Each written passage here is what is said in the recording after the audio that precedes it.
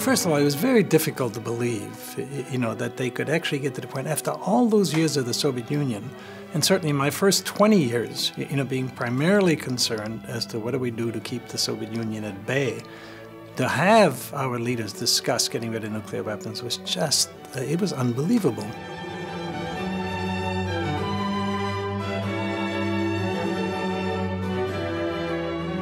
They couldn't agree to get rid of nuclear weapons. But more importantly, from my perspective and my future, was they also decided that they would actually have the scientists go from each side, Soviet Union, American side, to see whether we could develop the appropriate technologies to be able to verify a test ban treaty which had been on the books since 1974 but had never been ratified.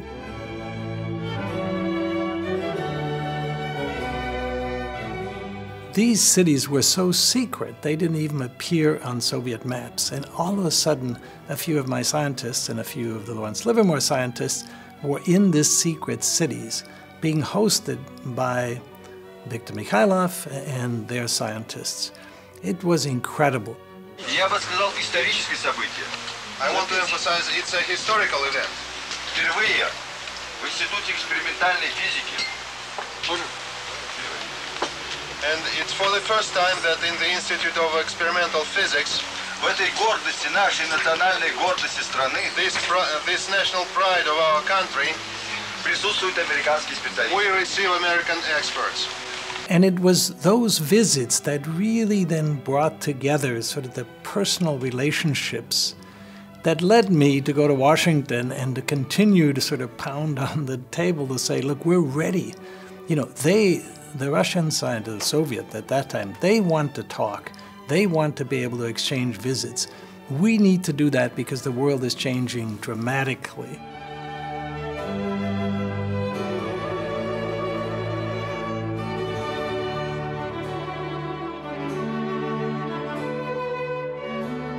The seminal event, uh, really, that got the US government's attention was in August of 1991 there was an attempted putsch, uh, and that is a coup from the Soviet hardliners who didn't like Gorbachev's policies uh, of what was called perestroika, sort of a restructuring, glasnost, an opening of the country, uh, and they put him under house arrest while he was down in the Crimea. And apparently, they took away what we call the nuclear suitcase, uh, and that is the codes that each president must have with him at all times uh, in order to authorize a launch of nuclear weapons or prevent a launch of nuclear weapons. Uh, and that really got the attention uh, of the US government. And from that time on, from August through December uh, of 1991, there was a flurry of activities, uh, uh, both in the US and on, on the Soviet side, to try to figure out how does one deal with the potential problems of having a Soviet Union that's going to split up.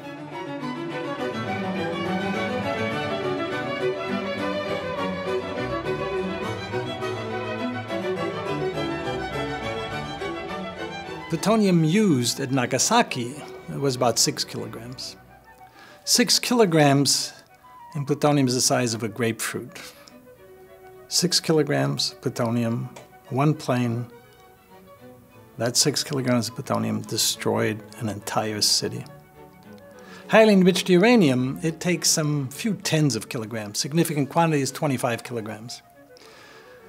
So now you think about that enormous amount of nuclear material. And, and by the way, as we worry today a lot about North Korea, so the best estimate that I've made of North Korea plutonium holdings is, is, maybe 20 to 40 kilograms. 20 to 40 kilograms of plutonium, that's it. And highly enriched uranium, maybe a few hundred kilograms, that's all. And nevertheless, it's a major international problem right now. So they had one and a half million kilograms.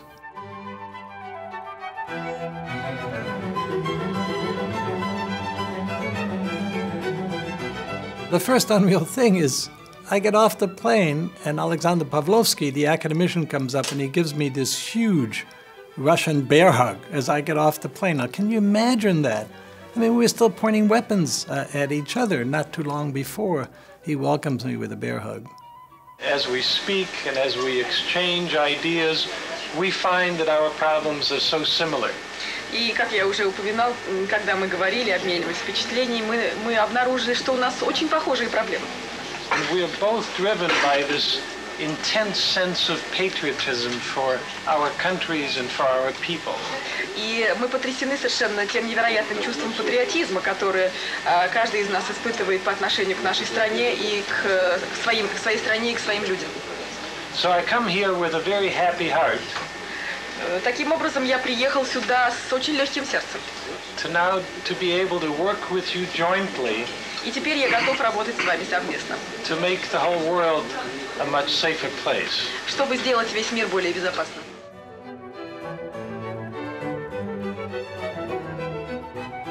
I went back in my old records and, and I found uh, this journal.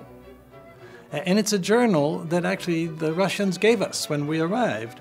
As I went and looked through this journal, I took these exquisite notes of the things that we were told, of the places that we visited. And it's just amazing that I go in here and what they told, they shared their concerns about nuclear weapon safety. They knew all these weapons are going to come back, and the most dangerous part of the lifetime of a weapon is actually when you take apart uh, an aged weapon. They shared their concerns about nuclear weapon safety, about nuclear weapon security. They said, we now need to be concerned about terrorism. This was 1992, not post, you know, 9-11. Uh, and that we ought to work together in, in these areas of safety and security. But what they were most proud about uh, were the scientific accomplishments. And so they went through presentation after presentation, lab tour after lab tour, to show us that they are at the absolute forefront of those areas of science that are important to the nuclear business. And what was so interesting, they just took us through this laser lab and, and I couldn't help but keep thinking, you know, our intel agencies must have spent billions of dollars trying to figure out what was in those buildings that they actually showed us. But of course, this was a response to what we did. You know, we took them through our laboratories at Los Alamos and at Lawrence Livermore.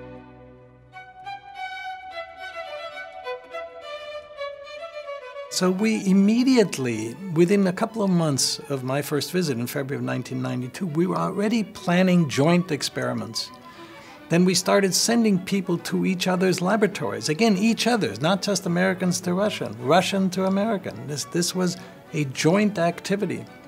And within a year, we did this incredibly successful experiment. And it was beautiful in that it merged the superior capabilities on the Russian side, and these capabilities were for designing explosive generators that would be able to compress a magnetic field so intensely that you would get the world's most powerful magnetic fields. So we also had those gadgets, but they were better than we were at the time. However, we had diagnostics because of the US capabilities in electronics and computers that were so much better than theirs. We put those two together, and in September of 93, we did the first joint successful experiment. And when that happened and the first traces showed up on the oscilloscope, one of our Russian colleagues, uh, uh, Sasha Bykov, just went and picked up Steve Younger and lifted him in a bear hug to celebrate and say, Look what we did together. It was that sort of jubilation that really led to our ability then to go in and work on the sensitive problems. You had to work on doing the good and preventing the bad. They wanted to do both. The US government was mostly focused on preventing the bad, and we, the scientists, brought this in. So that was the mark Uh, of the lab to lab cooperation. We didn't look at this as a foreign assistance program. We didn't look at it as only a program that's going to prevent the bad. We looked at it as a program where we develop, do things together, generate new knowledge, do new technologies. And then we'll also go ahead and solve these major problems.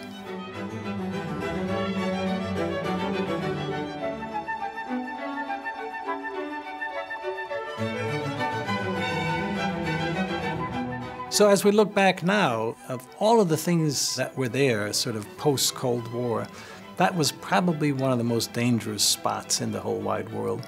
And we couldn't have taken care of it. Actually, my Russian colleagues call it liquidated the problem. Uh, we couldn't have liquidated the problem if we didn't have this cooperation. Three sets of scientists and engineers, and fortunately, a few really courageous government people in each uh, of those countries.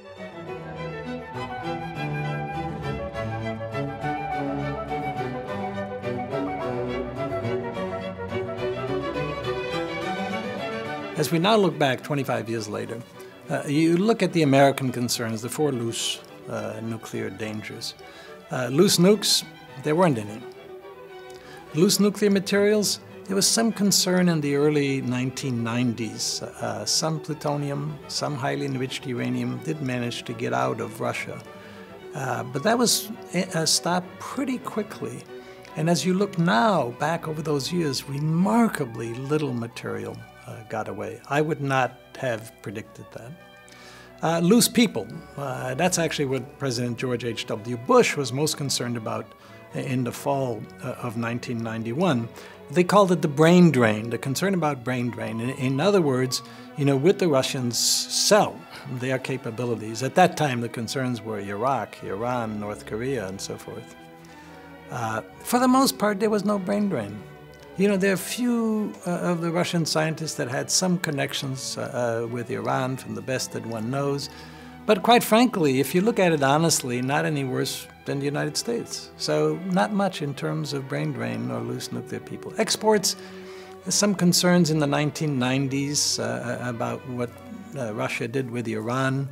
Uh, but now, you know, some years later, Russia has become a very respectable uh, nuclear exporter.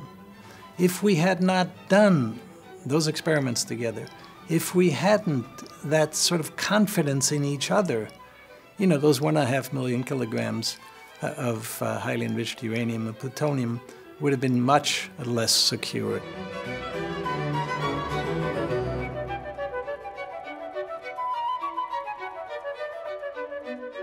So why, you know, why write a book?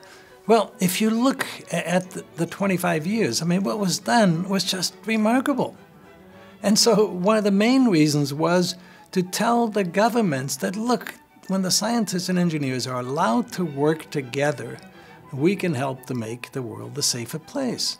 And we have, now as it turns out five years later, a thousand pages worth of evidence in this book both told from the Russian side and from the American side. This isn't just an American story. It couldn't have been done just by Americans. And in fact, the primary reason why we didn't have a nuclear catastrophe was, quite frankly, the Russian nuclear workers uh, and uh, the Russian nuclear officials. I mean, what they did through these difficult times was absolutely remarkable. Their dedication, their professionalism, uh, the, their patriotism for their country uh, was so strong that it carried them through these times in the 1990s when they often didn't get paid for six months uh, at a time. It, it was a remarkable time. So we wanted to tell that story. We wanted the Americans to understand it wasn't just American money. We want the Russians to understand is that whereas the Russians look at the 1990s as often their lost decade, it wasn't the lost decade in the nuclear complex. The nuclear complex stood tall. The nuclear complex did its job through the most trying times. Uh, and because of that, the world's a safer place. So we wanted to convince, my Russian colleagues and I, wanted to convince the policymakers that in things nuclear, to take advantage of what the atom gives you, or to make sure you manage the dangers of nuclear fission and things nuclear. You have to have cooperation. And cooperation was starting to tail off already five years ago, and we said, you must have cooperation. This book tells the story of how cooperation got us through this difficult time. Isolation, on the other hand, leads to disaster.